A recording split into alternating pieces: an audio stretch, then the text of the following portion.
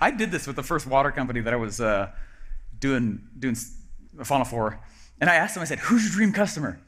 And it's this water filter, and they had this referral program where you could go like talk to your you know somebody and sell a water thing. It wasn't like an MLM or anything, but there's a referral program. And I said, "Who's your dream customer?" And they said, "Well, everyone drinks water, and everyone needs a little extra money." So everyone is our dream customer. They were so sincere. And I was trying not to laugh. I was like, no, wrong, right? Oh my gosh, we don't want everybody. We don't actually want everybody. We're only the dream. We might sell everybody in the world. Can you imagine fulfilling on every person in the world? That would be a crappy business. You would probably die in the fulfillment, right? Hey, I want to share with you guys my personal checklist of things that I look for for my dream customer. Yeah? All right, here we go. We're going to rifle them off here real quick. Okay? Yeah, bring your cameras out, right? Okay. Um, okay, first of all, I want somebody who has bought and used the product, hopefully from my biggest competition or from the market that I'm serving. I want them. Um, there's a really good book I'd recommend you read if you're a nerd like me, you know. It's called Play Bigger. There's a principle called the category king right? Steve Jobs created the category of smartphones. Therefore, he dominated the category, right? Uh, when, when you go in, like Henry Ford created the category of the car, therefore, he dominated that category. And everyone else fights over the scraps. Okay? I want my dream customer to already have purchased the Category Kings product. Like, what? Are you serious? It actually makes the sale really easy. Okay, why would I want this? Because they're not a freeloader. Um, I want somebody who's already conscious of the pain that they're experiencing. Why would I want that? Yeah, it's easier to sell a solution, more motivated because they hate it, right? If they're already conscious of the pain of the current product that they bought, my job's easy. There's a lot of old school copywriting courses that would say things like, hey, um, educate the customer on all the problems that they're experiencing so that your solution looks more attractive. like, oh, or I could just wait for them to be aware of the pain that they're in, right? Then it's easier to scoop them on up, right? They're in a state to receive my sales letter if they're already in pain. It speaks directly to them. Um, I want somebody who's bought the other guy's product feeling hopeful. They bought it feeling hopeful. They bought it feeling, uh, but now they feel abandoned. They feel forgotten. They feel betrayed. Maybe the company got so big they couldn't fulfill to the level that they wanted it.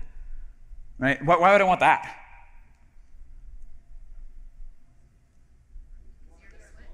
Easier to switch, better solution. Yeah, right? They're naturally hopeful people. If it tells me that they've gone in and they purchased from my, my competitor or the category king and they were hopeful, that tells me about their psyche. That's as important as the product I'm selling, in my opinion. I want to I want to work with fun, cool people like yourself, right? So I that that I want them to have gone through and done that. Um, I want them to not play 20 like 20 questions with my support. Um, And that's not to say like we don't answer questions. We certainly do. That's not what I'm saying. What I'm saying is they know value when they see it. They don't reach out to me on social media and say, I'm thinking about buying this thing, but what about this? What about this? What about this? What about this? What about this? What about this? And I'm like, man, my funnel didn't do the job. I was like, wait, you saw the sales letter? Like, yeah, yeah, I read the whole thing. You're still asking all this? You, you know what I mean? It, it keeps that person out, which increases my success rate. I'm actively keeping as many people out as I'm trying to bring in. Um, they're a natural action taker. I already want them to have a level of success. What does it tell me when somebody's already had some success in their life? They have tasted success. I don't care what it's in. Something. Took first place in underwater basket weaving. Sweet. You will most likely be better here, right? They're most likely to succeed with my products if they've tasted success in their life. If they've never gotten off the couch, but they have the money, that is not a dream customer, right? Uh, I want them to consume content regularly. Why is that important? Yeah, they're most they're more likely to consume my content. And I publish a lot of content. Right? I want them to be consuming a lot of my stuff. I, uh, I want them to have bought an identity with their, what we call the red ocean. I want them to, uh, to have bought an identity with my competitor's product. Why would they buy an identity? What does that mean? You guys, how many guys have a ClickFunnels account, so I know? Sweet. That's awesome. What did you get when you bought ClickFunnels account? You got a shirt. What did it say? Why does that matter? It's the tribe, man. They bought an identity. And I want them to have purchased an identity with somebody else. It's the, this is the easiest pre-frame, pre-stage ever when I drop my actual thing in front of them. Okay? And again, the reason is because a lot of them, if they're feeling a little jaded, or if they're feeling a little bit, right, uh, like in the MLM space that I sell into, how many of them feel jaded, you think? A lot. But they bought an identity, which means they're looking for an identity. Seth Godin taught there has never been a moment in history where we have detribed so much like we are now. Everyone's detribing. We're looking for tribe. We want tribe. It's a book called Tribes that he wrote about it. okay? And uh, anyway, so looking for a new identity. I want somebody who's a sneezer, meaning they talk about their life a lot. Um, that's a, another Seth Godin reference. Uh, sneezers, uh, somebody who spreads ideas, totally disgusting phrase. okay, but they spread ideas. Right? They're going to become my marketers for me, my little mini me's that are spreading the message because they got really psyched about it. Right? I'm looking for that. Why? Because they spread ideas. Um, I want someone who has a strong sense of self. This is one of the. Why, why would I want that? I don't want to babysit. I am a terrible life coach. In fact, most people hate how I life coach. Lean in, son. What's wrong with you? Right? Like, feel the burn, right? And people are like, ah, love me. I'm like, I do. That's why I'm telling you that. And they don't want, they don't like my answers. I'm a terrible life coach. I'm great at delivering what I do, right? My company is not their personal validation. How many guys know you have customers that are in that phase right now and you are a life coach?